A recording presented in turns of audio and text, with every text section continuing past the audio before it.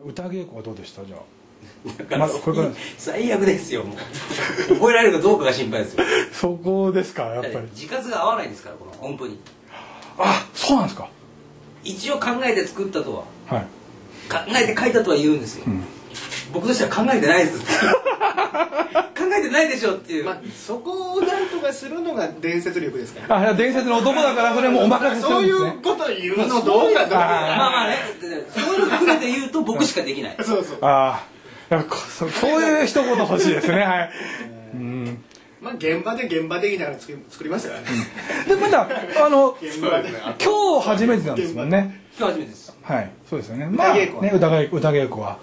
でもねやっぱ歌って踊ってっていうのは大変ですもんね。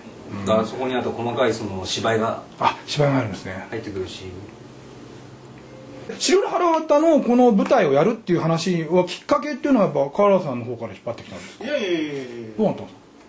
プロデューサーさんから。そうそうですね、ででもなんかあのサンシャイン劇場が空いているので、はい。なんかやりたいことはないか。って言ってえらい適当でね。適当に人愛情がいてからね。すごいですね。なんか考えてきてって言われて、い。なんかいや面白い舞台知らないって言われて、もう僕これぐらいしか思いつかなくてでも現実的じゃないなと思って打ち合わせに行ったら向こうのプロデューサーの人が「いや面白いものが一本あってね」うん。って言って「潮の腹歌だ」ってハイブリッドがあったんだいうああ飛びつきましたか？飛びついたも何も。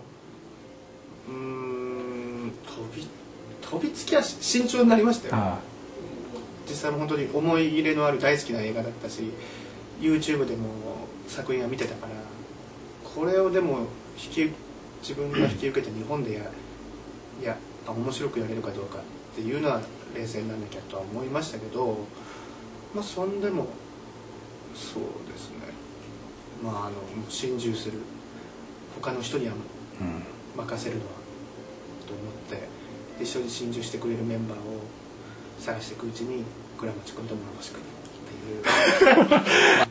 サンシャイン劇場っていうのでこんな広い声でイーブルデッドかって思ってびっくりしたんですよ、ね。でそのプレッシャーはあります？あるわけないじゃないですか。あないんですか？あるわけないじゃないですかお前も うんだもん全部あるとかあるとか言わせないんだないです。ないですね。特にないです。やっぱもう自由にやってみたいというの方が強いですか？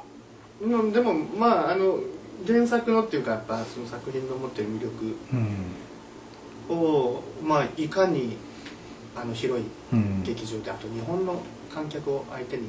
ああそうですよね。日本語でやんなきゃいけないっていうのは難しいですよね。そう何語で、ねえ何語だったらいいかなって話ですけどね、うん、でも、まあ、韓国は韓国語ですもんね。韓国でやったやつに関してはうん。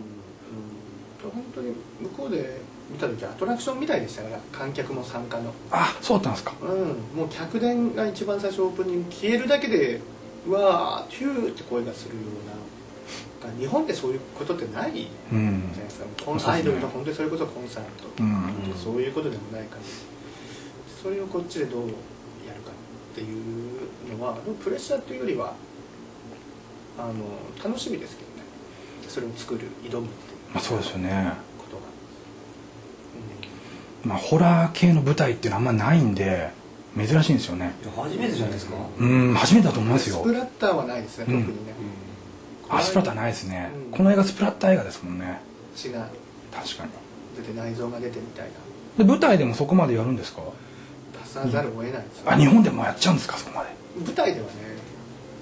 結構なんかそういう倫理的な部分とかってなんか言われたりしません？倫理的というか要するに劇場を汚すなっていう。ああなるほど。さっき言ってたうん新しくなったばっかりそれ綺麗になったばっかりあかそうそうなんか向こうで見た時は本当にちっちゃいね。